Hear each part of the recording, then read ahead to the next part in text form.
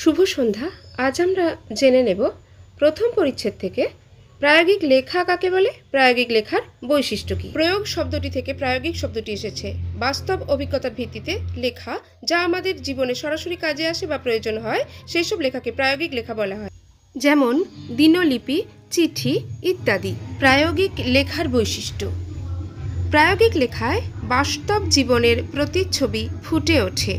প্রায়োগিক লেখার নির্দিষ্ট কিছু পদ্ধতি, নিয়ম এবং শর্ত থাকলেও এখানে ব্যক্তির নিজস্ব মতামত, ধ্যান ধারণা প্রাধান্য পায়। এই ধরনের লেখায় ব্যক্তিগত প্রয়োজন, পছন্দ, ইচ্ছার বিষয়টি প্রকাশ পায়।